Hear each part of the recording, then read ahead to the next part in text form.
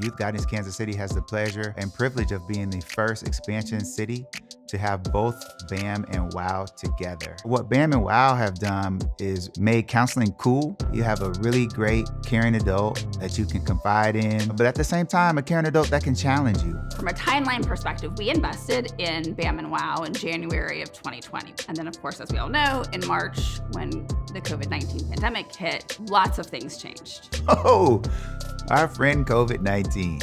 I think interacting with students and you have a mask on and you're trying to build those relationships, it's tough.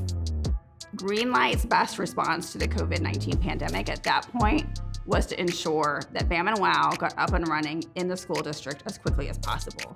The resource and the support that they've got is priceless. Yeah, what I'm hearing from our teachers administrators that they're saying more, more, more, more. Oh man, the counselors, in a word, the counselors are dope. We have what's called the HCE, high coolness efficiency. Coolness factor? Am I off the charts?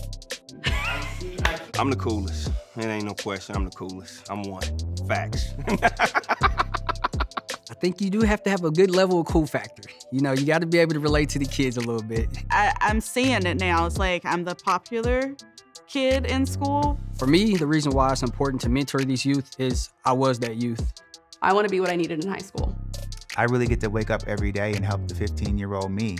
You know, if you come from a family and, you know, if your mother or father don't teach you early on that you matter or that you're important or that they love you, um, it's going to be hard to get a, a young man or a young woman to understand why other people matter. It's not that I fill a need, it's I help guide them and show them the potential they already have. It's an amazing thing for folks to be able to wake up and go to work and a job that you would probably do for free.